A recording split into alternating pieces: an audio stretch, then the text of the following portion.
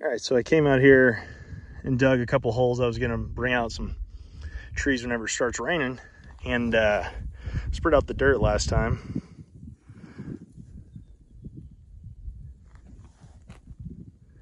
Hopefully it's all there.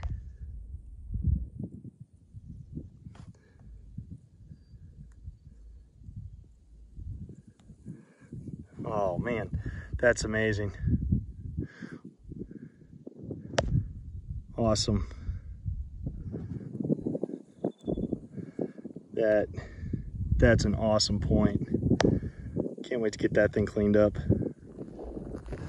So we've gotten a little bit of rain. You can see it greening up a little bit, but walking up to the next hole, came across that guy.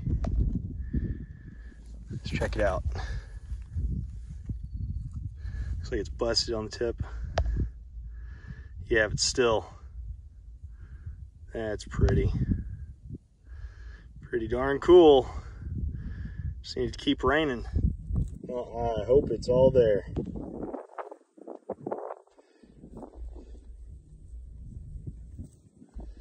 Nice. Heck yeah.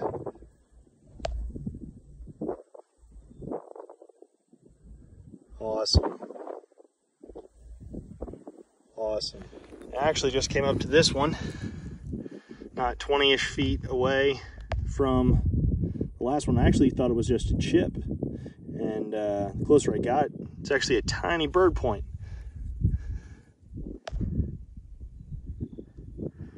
It's awesome. That is truly awesome. Today's a great day. Can't believe I found this many. But all it takes his time and patience with the weather. And then I looked up and there's this little guy. Oh man, double. That is my, well, yeah, second double to the season. That's awesome. He's busted up, but still, we'll take it. We will take it. Well, that's what we found today. Took a little walk over two hours. That's actually fantastic today. The wind's blowing a little bit. Sorry about that, but yeah, too bad they all can't be like today, but still, it was a great day.